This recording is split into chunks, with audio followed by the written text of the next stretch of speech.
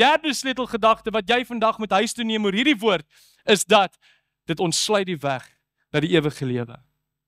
Dit ontsluit die weg na die ewige lewe. Ja, maar ken dit ons weet dit. Ons weet dit. Ek verstaan jy weet dit.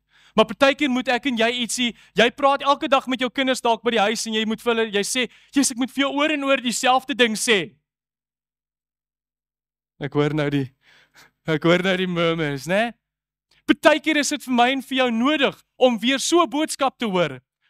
Want ons vergeet wat die krag van die woord vir my en vir jou inhou. En dus Vriende, gaan ek nie baie gesels oor hierdie stukkie waar uh, vers 4 of vers 12c sê vir ons dit beoordeel die bedoelings en gedagtes van die hart. Want ek het baie wat hierdie deel opgesom in punt nommer 2. Maar wat ek wel gou vinnig wil noem is daardie bedoelings en gedagtes as jy na die woorde gaan kyk, beteken weer eens net, dis daardie gedagtes wat niemand kan sien nie. En ek het mos nou klaar daaroor gesels. Maar vriende, jy het jouself moontlik al in 'n situasie gevind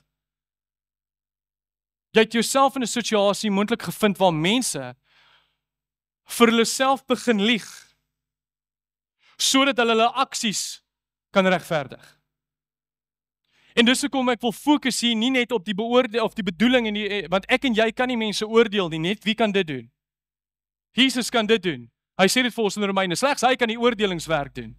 Ons oordeel sonde. Dis ons ons ons ons ons het die ons het die reg soos die skrif sê om mense te rebuke om hulle reg te wys op dit wat hulle doen.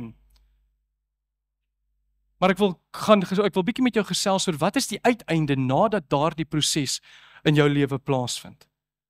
Jy sien daardie mense wat baie keer hulle aksies regverdig sal vir my die volgende woorde sê.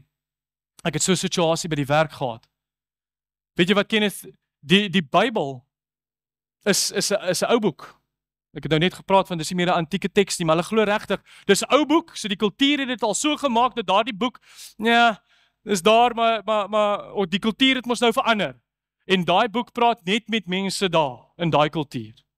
Of hulle sal iets sê soos nee wat, uh ek glo maar nie net daar nie want dit is fiksie. Dis opgemaakte stories. Iemand het dit maar net opgemaak en uh en dis dis dis dit kan nie waar wees nie.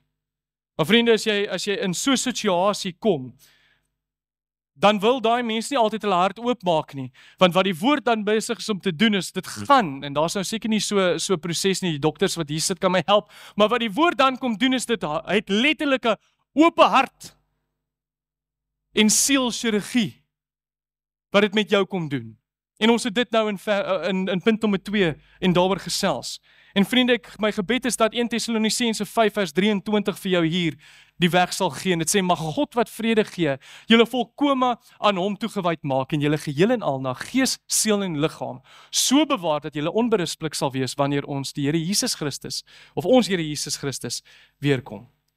Vriende, die vrede en rus wat ons hier lees, die vrede en rus wat ons hier kom sien is daar wat ons in die begin van gepraat het. Ek en jy kan slegs daai vrede ontvang as ons by die woord kom en slegs in die Here Jesus. En vriende, die Bybel ontsluit daardie weg vir my en vir jou. Dit is die uiteinde is die werk in my en jou lewe gebeur. Is ons kom leer Jesus ken in sy woord.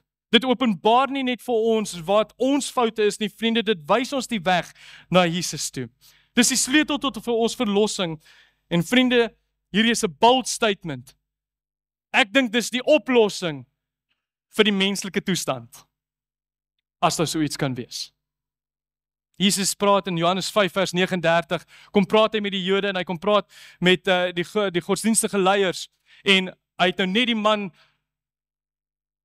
genees in die bad by die skaappoort en hy sê vir hulle die volgende hy sê julle ondersoek die skrif omdat julle dink dat julle die ewige lewe daarin gaan kry. So hulle het letterlik gedink die ewige lewe lê in die boek. Maar wat Jesus vir hulle hier kom probeer verduidelik is vriende, daardie woord getuig oor wie? oor Jesus self. En hulle moes dit kom insien vriende en die skrifte laat ons dit as ons onsself in die skrifte sit dan leer ons daaroor en dit is belangrik vriende omdat dit aandui dat die Bybel nie net 'n versameling verhale is nie ek het dit nou net en vroeër gesê maar dit nog steeds ons na Christus toe kan lei. Dis vir my en vir jou 'n goddelike gids.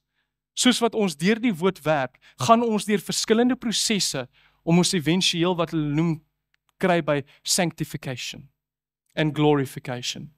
Maar vriende, dis 'n proses. En die enige manier wat jy op daardie pad gaan kom, is as jy in die woord van die Here kom. 1 Petrus 1 vers 23 wil ek graag mee afeindig op hierdie punt voor ons nou ons laaste een gaan. Beklemtoon die volgende: Julle is immers weergebore nie uit verganklike saad nie, maar uit onverganklike saad. Die lewende en ewige woord van God. En Petrus wat uh, vriende wat Petrus hier kom doen is hy beklemtoon dat die woord van God onverganklik is. Dit kan nie doodgaan nie. Dit kan nie uitmekaar geruk word nie. En hierdie wagwoorde vriende ons toegang gee tot beperkte areas en tot beperkte inligting. Maak die Bybel die deur vir my en jou oop om die ewige lewe in Christus Jesus te kan geniet. En julle soos die woord die pad in die ewige lewe ontsluit, dien dit ook vir my en vir jou as iets meer. Dit dien vir my en vir jou as 'n gids, maar ook as 'n beskermer in ons lewe.